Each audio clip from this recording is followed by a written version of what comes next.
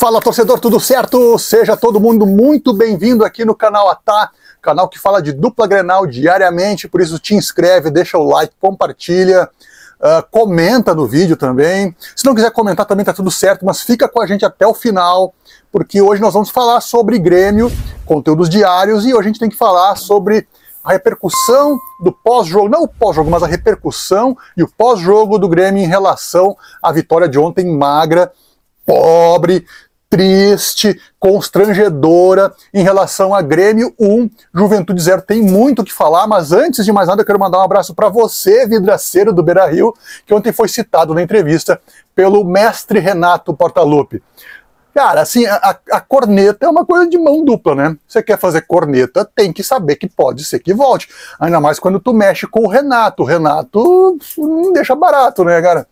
Então, para ti que está descendo agora aí de Vênus e não sabe, o Alessandro Barcelos, né, o presidente do Inter, semana passada fez uma corneta, né, porque foi questionado sobre a ausência do Cudê num período ali que estava previamente é, combinado, tá tudo certo, mas ele falou que acha que o Cudê não estava jogando futebol, né? Claro que ele deu uma alfinetada no Renato, que ah, obviamente ontem foi questionado por um repórter da, da que da Rádio Grenal, ele devolveu assim, olha, eu não conheço o presidente Alessandro Barcelos, eu sei que ele deve ser menos famoso, falou alguma coisa assim em relação ao vidraceiro do Beira-Rio, porque teve uma época que a coisa estava feia, né?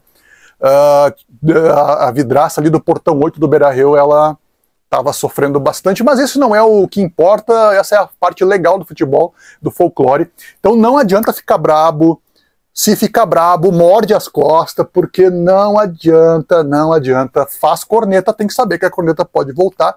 Isso faz parte do futebol, acho que é a parte bacana do futebol, desde que não vá para ignorância, para violência, para dedo no olho, para essas coisas assim.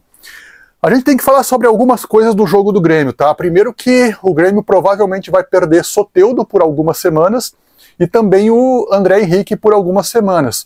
Logo eles, né, cara, o Soteudo que é o melhor jogador do Grêmio nesse início de 2024, apesar de ser somente gauchão, mas é praticamente só o que a gente tem para comemorar em 2024 é o desempenho do Soteudo. E aí o baixinho vai lá e se machuca. Não se sabe ainda, mas a princípio duas, três, quatro semanas fora, ou seja, talvez não jogue em fevereiro, o que significa que não jogaria o Grenal também. O André Henrique, que é a nossa esperança, é o talvez o menos pior camisa 9 atacante que nós tenhamos ali para jogar no comando do ataque. Ele, uh, inclusive ontem ele entrou em dois minutos de jogo, ele fez mais do que o JP Galvão fez em oito meses, né?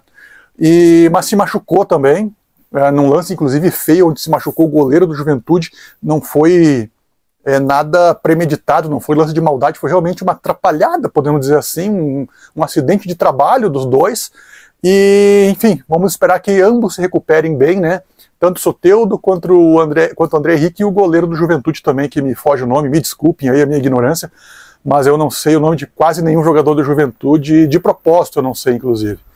Uh, mas sobre o jogo, o Grêmio mal, mal, mal, Jogo pobre, Grêmio inclusive poderia ter levado o gol no final, não fosse o Marquezin.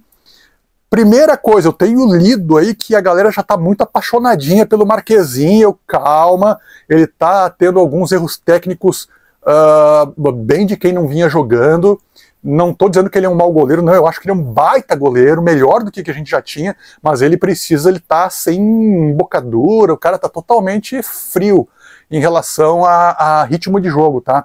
A grande defesa que ele fez ontem, né, que foi no final do jogo, foi em função de uma falha dele. Ele bateu roupa, peito de madeira, a bola sobrou na frente e chegou ali o, o centroavante do Juventude, o atacante do Juventude, e chutou, uh, e ele conseguiu defender. Mas assim, se fosse um centroavante, um atacante com um pouquinho mais de qualidade e frieza, era gol do Juventude. Então, ok, Marquezin é um goleiro temperamental, no bom sentido, beleza. Acho que vai dar muito certo, acho que vai ser um grande goleiro aqui no Grêmio, mas não se apaixone ainda, cara. Tô, tô vendo gente dizer aí, esse barulho, barulho é do alarme de alguém, eu não posso fazer nada, tá? Mas tem gente dizendo que o Marquezinho é o cara que vai ser ídolo. Calma, gente, calma, é muito cedo. Ele tem, obrigado por desligar o alarme, ele tem algumas coisas ainda que a gente precisa analisar com mais calma. Jeromel ontem não é o mesmo Jeromel de sempre, mas jogou bem, acho que foi o melhor jogador do Grêmio, junto com o PP também foi bem, Marquezinho também foi um destaque porque fez essas defesas. É, mais uma vez o Grêmio não levou gol, né? Já faz dois ou três jogos que não leva gol. Ano passado levava gol em, em qualquer jogo, então até no aquecimento o Grêmio levava gol. Então agora o Grêmio tem essa vantagem. Mas a gente tem que falar sobre aquilo que é o principal, que é deu, né, galera? JP Galvão não tem mais. Uh, o Renato deixou bem claro, inclusive falou que ninguém pode reclamar que não está recebendo chances, e é um recado direto para o JP Galvão, né? Só faltou dizer, olha, JP Galvão é contigo.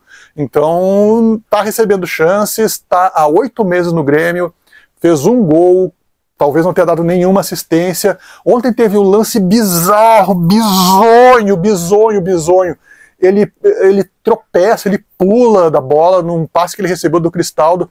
Ah, não foi um passe açucarado, sabe? Mas pô, dava para dominar aquela bola e tentar construir alguma coisa. E ainda reclama do Cristaldo, sabe? O, o, a câmera depois foca nele, assim, reclama do Cristaldo, o Cristaldo praticamente, o Cristaldo fica sem resposta, porque ele, cara, eu passei a bola para ti e tu pulou, tu pulou, não pode pular. Uh, então, JP Galvão, explica muito porque a Itália não vai para duas Copas do Mundo, porque ele chegou a jogar na seleção italiana, né? que mais, galera? JP Galvão pode ser qualquer coisa menos atacante do Grêmio, tá? Ele pode ser é, bombeiro, astronauta, qualquer coisa, mas ele não pode ser.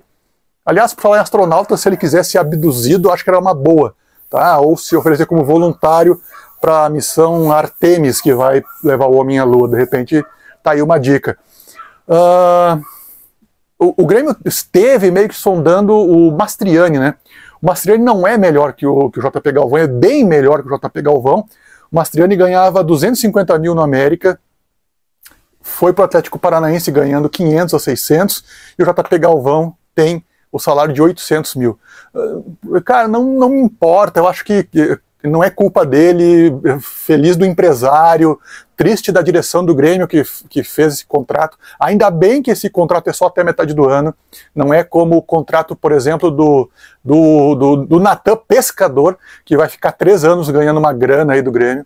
Uh, mas não dá, JP Galvão não dá mais. Precisa cada vez mais urgente o Grêmio contratar, cara. O Grêmio precisa contratar muito urgente o Grêmio precisa contratar. Porque com esse time de hoje, Libertadores esquece. O Grêmio briga para não cair no Brasileirão. Escrevam o que eu estou dizendo. Se não melhorar muito, o Grêmio briga para não cair no Brasileirão. Valeu? É isso. Oremos. É só